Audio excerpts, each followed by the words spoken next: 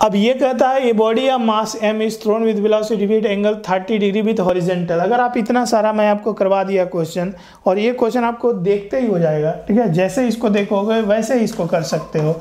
अगर एक projectile motion है, जिसको मैंने 30 डिग्री पे हॉरिजेंटल से प्रोजेक्ट किया, चलो हॉरिजेंटल से यू वेलोसिटी से 30 डिग्री पर प्रोजेक्ट किया, फिर हॉरिजेंटल से उसी बॉडी को 60 डिग्री पर प्रोजेक्ट किया। आपको पता है इसका रेंज सेम होता है? रेंज सेम होता है। तो रेंज सेम होता है तो आर वन और आर टू का रेशियो कितना हो जाएगा? वन रेशियो वन ठीक है? वन रेशियो वन ठीक है? आया था ऐसा क्वेश्चन कई बार आया तीन चार बार आया ये। ठीक है?